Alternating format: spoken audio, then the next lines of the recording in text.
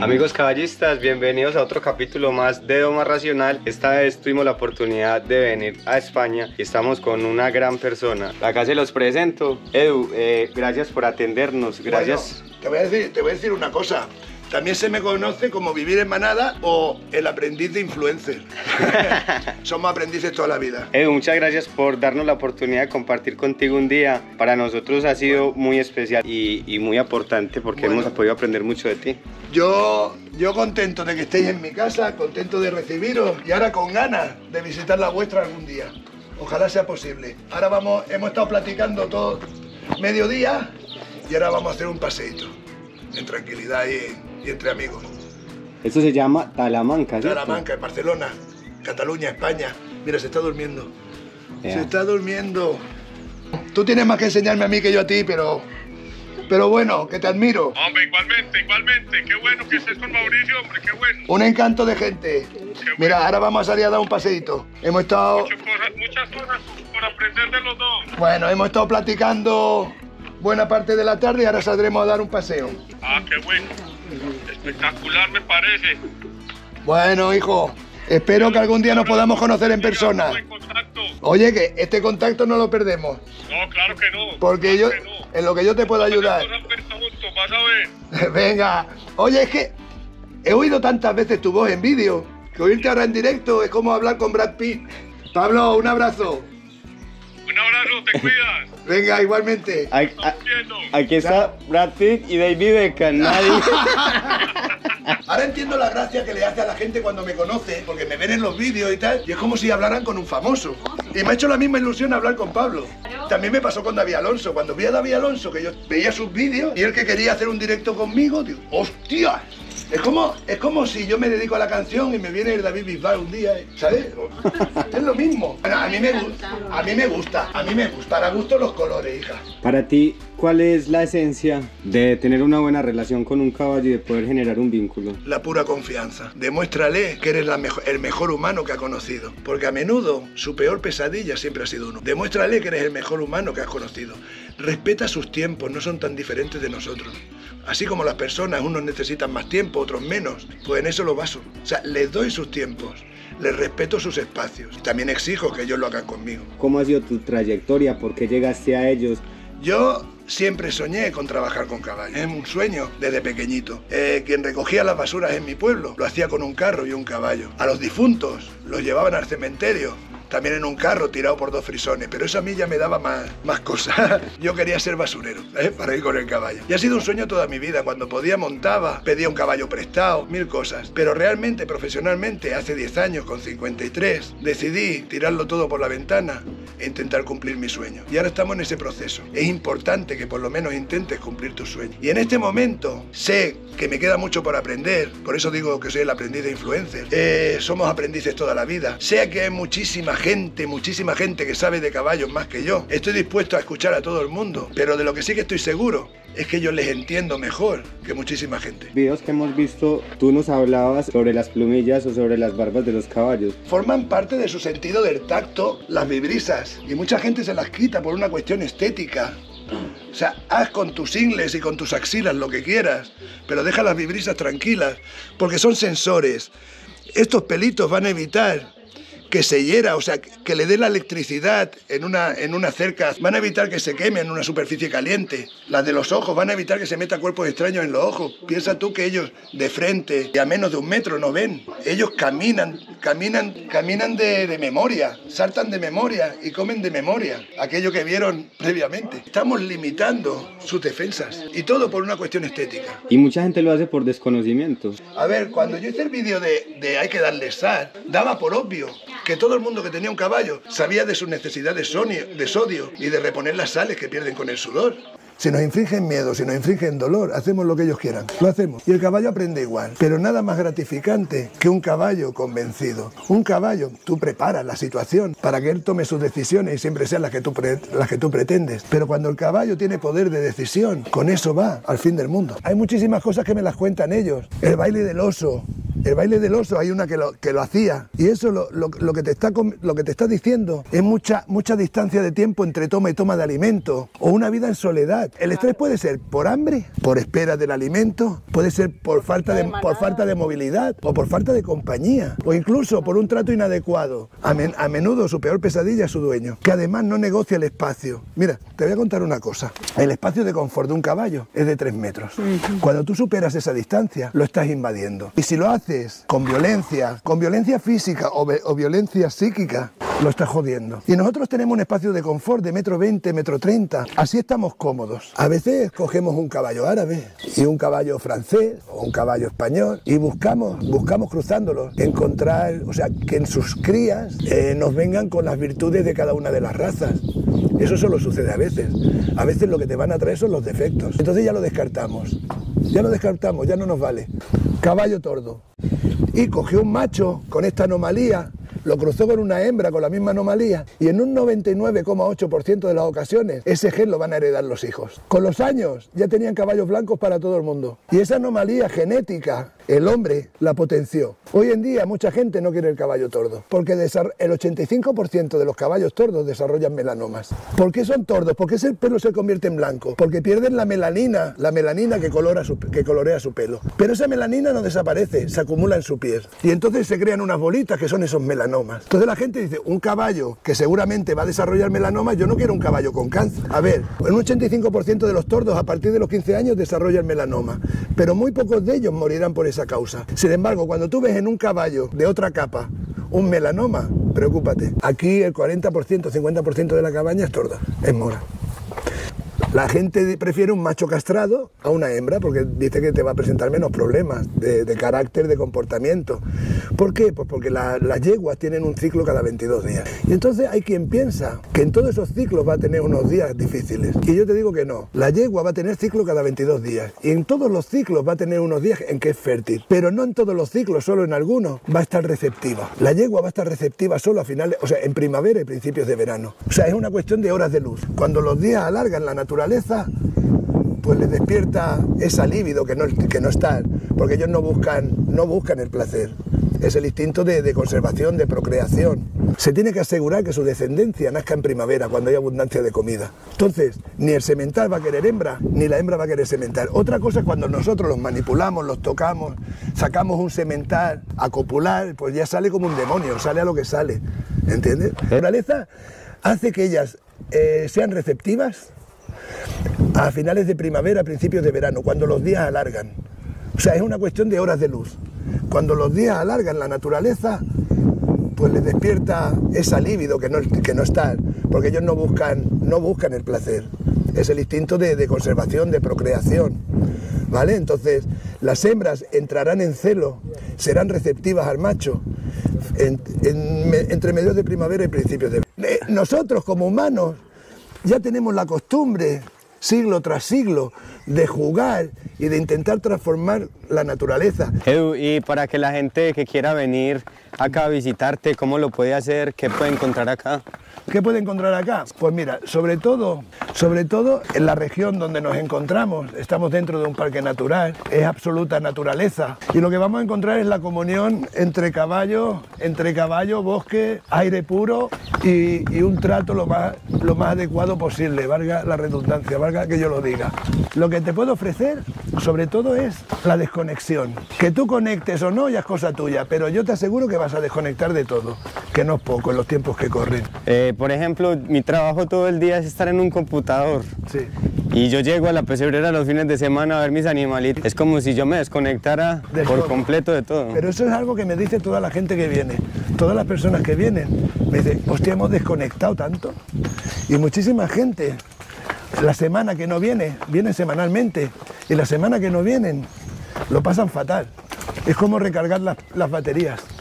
Sí, y además es que eh, generar un vínculo con un animal que tiene una naturaleza completamente diferente a la de una es especial. Es, espe- es que eh, es lo, es lo que hablábamos, un animal presa con un depredador encima. Es el sumum, es el sumum. Y además, cuando, cuando el vínculo es tal que sientes que no tienes que conducir a tu caballo, que se anticipa por décimas de segundo a tus deseos, ¿sabes? Eso ya es casi magia. Lo que he probado a veces es estar descalzo cerca de ellos, a pesar de que se te pueden pegar un pisotón. Estar descalzo cerca de ellos y pasar de la tierra arriba, ¿sabes? Tocarle con tus pies. Para mucha gente del mundo del caballo, yo soy un flipado, yo soy un, un loco, pero bueno, me encanta mi locura. Mira, no me quiero morir, no me quiero morir. Pero si me muero, me muero tranquilo. Es vivir en coherencia. O sea, el día que se acerca, que se aproxima tu muerte, no tienes nada de qué arrepentirte. No tienes la necesidad de cambiar nada. Entonces te puedes morir tranquilo. A ti los caballos se cambiaron la vida. Sí, los caballos me salvaron la vida. Yo cuando tomé la decisión de cumplir mi sueño, de dedicarme a los caballos, hay muchos que pensaron que era un acto de valentía y yo les digo que fue un acto de supervivencia. Yo estaba en un agujero, en un pozo sin fondo, la depresión me consumía, para, para nada me gustaba la vida que llevaba y bueno, los caballos me han, me han salvado la vida, se puede decir. ¿Y qué te llevó a tomar esa decisión? Bueno, pues me tomó, me llevó a tomar esa decisión eh, simplemente el hacerme mayor, cumplir años, ver que mi vida pasaba sin, sin pena ni gloria y que cualquier día podía morir sin haber intentado siquiera cumplir mi sueño. Entonces, a veces le preguntas a los jóvenes, ¿cuál es tu sueño? ¿Tienes algún sueño? Y, y muchos no tienen sueños. Y para mí es muy, muy importante tener un sueño, tener Claro. un, un objetivo. El regalo, el regalo no es llegar a ese objetivo. A veces lo conseguirás y otras veces no. El regalo real es el camino. Mira que cuando nosotros comenzamos con el canal, lo hice en un momento muy difícil de mi vida. Yo empecé en un momento muy difícil de mi vida, extremadamente complicado. Yo, yo fue durante el confinamiento. El primer vídeo iba dedicada a una gran amiga que estaba, a la que le estaban aplicando quimioterapia por un cáncer. Ella cada, cada semana venía y decía que, que estar con los caballos la ayudaba a soportar una semana más. Y con el confinamiento del COVID ya fue imposible, no la dejaban venir. Y fue como intentar abrirle una ventana. Después la ventana ya no era para ella sola, era para todos aquellos que vivían encerrados en sus pisitos. Era mostrarles, era una ventana abierta, era mostrarles que aquella primavera, la del 2020, estaba siendo exuberante y preciosa y se la estaban perdiendo. Y que nosotros, a pesar de no poder recibir a nadie, que no teníamos ingresos, estábamos pues mostrándonos cada día que seguíamos en pie. Y esos fueron los primeros vídeos que hice. Bueno, nos reinventamos, la gente empezó a verlos. Los primeros vídeos que hice para YouTube, en ellos, en todos los vídeos finalizo cantando una canción. O sea, ya ricé el rizo, ¿sabes? Para ti, ¿qué ha sido lo más gratificante eh, que te ha dejado los caballos? Mira, lo más gratificante es sentirme, que, que me han hecho sentir que soy uno más de ellos. En mis momentos, en mis momentos, en mis peores momentos, sentir que los caballos, que hay caballos que son solidarios. O sea, cuando anímicamente estás destrozado y un caballo abandona la manada y se viene contigo y te apoya, te apoya su morro aquí en el plexo, eh, te desmonta como persona.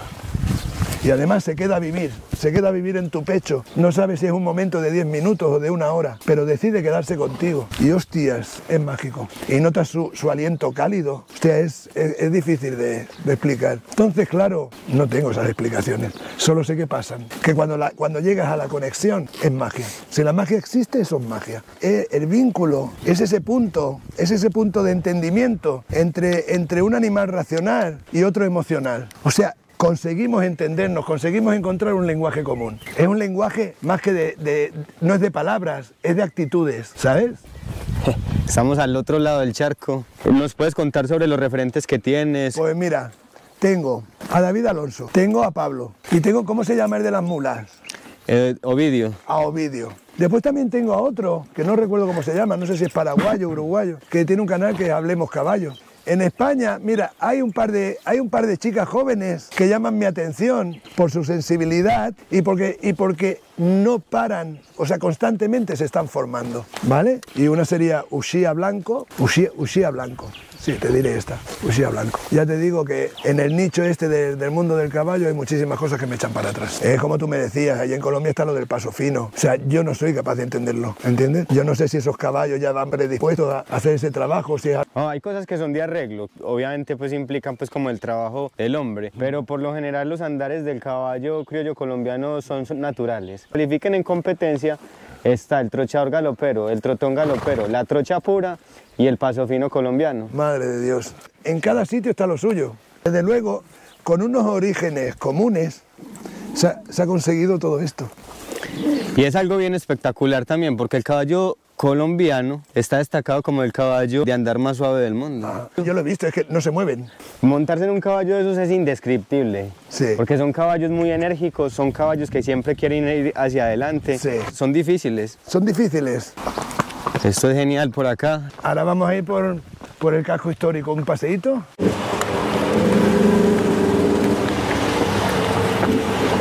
Bueno, acá estamos entrando al pueblo de Talamanca.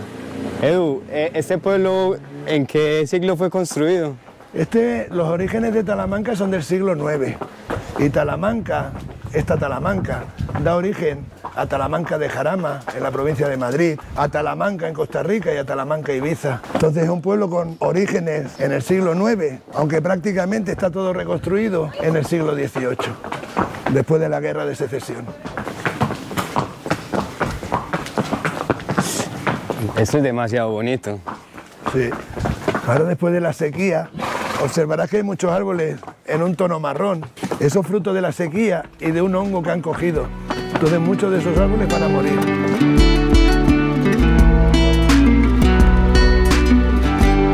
¿Cuántos habitantes tiene este pueblo? Pues en el, 1900. en el censo somos más o menos 200. Que realmente vivamos todo el año somos unos 100, 90, 100. Y en verano podemos ser 500, 600. Es casi, la mayoría casi siempre es segunda residencia.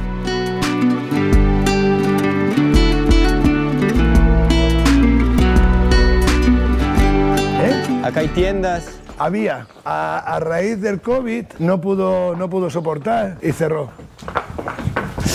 Increíble esto. Mira, la iglesia sí que se conserva del siglo XI.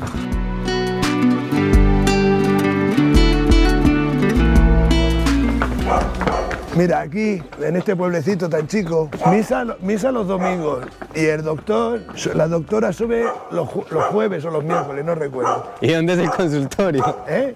Tú mira qué tranquila va, que podríamos estar galopando y ella igual de tranquila. Por ejemplo, alguien quiere venir a visitarte, ¿cómo debe de ser? Normalmente, normalmente la gente se dirige a mí por WhatsApp o por las redes sociales, pero siempre cuando me llegan por las redes sociales me mandan o, eh, o me comentan un post y me, y me comentan que quieren el deseo de venir aquí o un mensaje privado y yo siempre los derivo al WhatsApp porque si no me vuelvo loco porque tengo el email, las redes, me lo mando todo a WhatsApp si puede ser. Hoy, hoy porque hay nubes, mira la que es. Hoy porque hay nubes, el, el Pirineo se adivina, que no se ve, no lo vemos. Ya sería la frontera con Francia, ¿sabes? Me es increíble uno poder andar en estos caminos que tienen tantos años, ¿no? Pues sí. Tanta historia. Mira, eh, esta calle que acabamos de pasar, o sea, antes te hablaba de la batalla de Talamanca. Sí. ¿Qué interés podía tener un pueblo tan apartado y tan pequeño para que aquí se celebrara una batalla? La calle que hemos, que hemos, por la que hemos circulado, en sentido inverso, era la entrada norte a Barcelona. Si tú venías del norte de España, si tú venías de Europa y querías llegar a Barcelona, tenías que pasar por aquí. Entonces, durante siglos, mercaderías, viajeros y ejércitos, todo pasaba por aquí. Este era el interés que tenía este, esta zona. Mira, mira dónde tenemos Montserrat. Sí, pero muy particular que acá hayan decidido hacer la guerra, ¿no? La Bueno, batalla. Es que antes la- las fronteras no las delimitaba un mapa, no las delimitaban una línea, las delimitaban los accidentes geográficos. Y esto está lleno de barrancos y torrentes, ¿entiendes? O sea, esto era territorio fronterizo siempre. Es eso, por aquí todo el que se dirigía desde el norte a Barcelona, pues pasaba por aquí. Los 620 kilómetros que hay en la actualidad de Madrid a Barcelona, entonces serían alrededor de 1000 kilómetros a caballo, ¿sabes? No había líneas rectas, no había túneles, apenas había puentes. Y en ese tiempo durante era el caballo. Sí, sí, Había eso es el que otro. tenía caballo, porque los pobres no tenían ni un burro. Gusta vivir por acá? Tranquilidad, la tranquilidad. Aquí, aquí la vida es fácil. Además, como no hay tiendas, tampoco gastas mucho. ¿sabes? Vale, rinde la plata. Sí.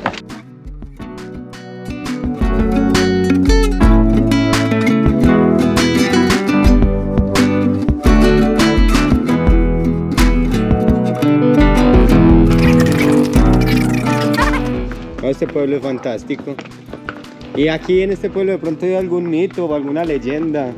Bueno, aquí, aquí eh, no sabes dónde acaba la historia y dónde empieza, dónde empieza, dónde acaban las leyendas y empieza la historia realmente. A ver, los niños siempre cuentan historias medievales, Sí. pero la verdad, la verdad es que este era un pueblo, este era un pueblo que en los años 70 se- estaba totalmente muerto. No hay una no hay una actividad económica, no hay nada. La gente, la gente emigró a las grandes ciudades a trabajar a las fábricas. Y el campo quedó en abandono, y más un campo como este, donde apenas hay planos, todos son pendientes. Y entonces es, es complicado poder sacar un rendimiento, ¿sabes? Porque no puedes meter maquinaria. Es una zona muy, muy montañosa Una zona muy compleja. y con muchas piedras, un suelo muy pobre, calcáreo. No, pues es que este, este es como si fuera el pueblo suyo.